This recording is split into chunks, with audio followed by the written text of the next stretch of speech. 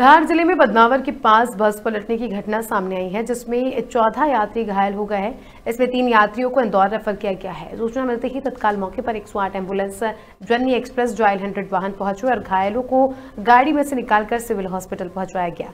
बस यात्रियों को लघु शंका के लिए जो है रुकी हुई थी और कई यात्री उतर गए थे, तभी गाड़ी अचानक रिवर्स हुई और पीछे जाते हुए सड़क की साइड में खाई में उतरकर पलट गई। हादसा होते ही यात्रियों में चीख पुकार मच गई। कई यात्री गाड़ी में सोए हुए थे, उन्हें भी गंभीर चोटें आई है।